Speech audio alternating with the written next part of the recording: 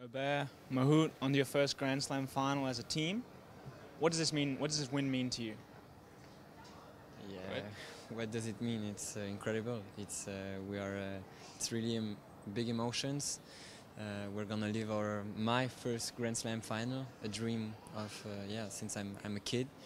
So um, it's gonna be yeah I think incredible, and it's even better to to win uh, in such a match, a long match, finishing. In the in the tiebreak of the third, being down 5-2 in the tiebreaker, coming back, to be uh, yeah as a team to to having some bad moments in this third set uh, and uh, yeah so it's incredible and I'm, I'm really happy to to to live that that moment Nicolas, you've been to a Grand Slam final before. What were some of the things you learned from that match, and what can you take into the next match going forward? I think there are many things uh, we'll talk with Pierre on tomorrow. Uh, first, we're gonna enjoy the moment, uh, but yeah, there are definitely some something we could talk about tomorrow. Playing in Grand Slam final is um is something different, like the other match. It's the last step to to hold the trophy, so um, yeah, it's gonna be interesting. But I hope the, the end will be different than uh, than last time.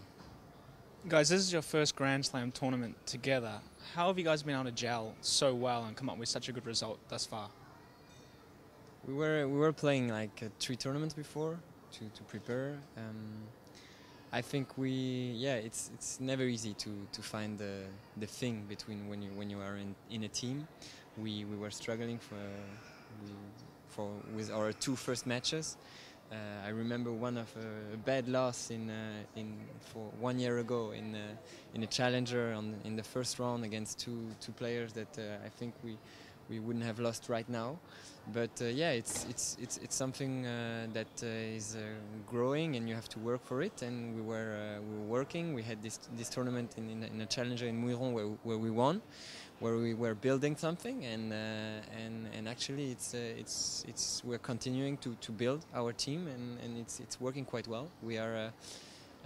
Yeah, we are. Um, I would say friends right now, and we on s'entend bien. Yeah, you How do you say? you. How do you say? Uh, on s'entend bien. Uh, We. no, we'll just become.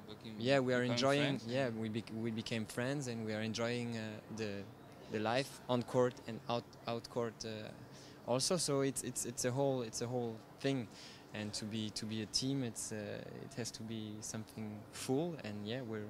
I hope we're. It's it's just the start, and uh, that we're gonna grow like this uh, and continue to be better. And you play Bolelli and Fognini in the final. Any initial thoughts on that match?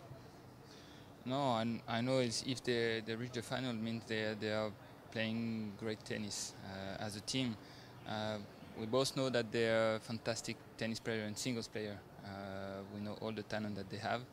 Um, now we just have to be stronger as a team. Um, you see, it's uh, it's it's a final, so someone has to win, and we hope uh, it's going to be us. But um, yeah, it's going to be really really difficult match because the, they're both playing from the baseline.